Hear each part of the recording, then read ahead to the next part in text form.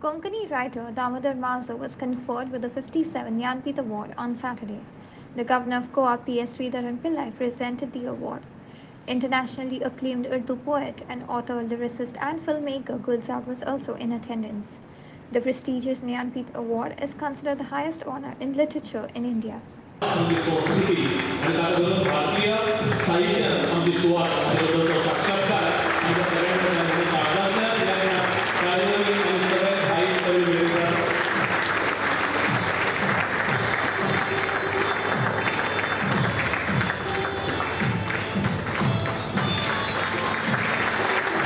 Oczekuję od tej zajęcia dla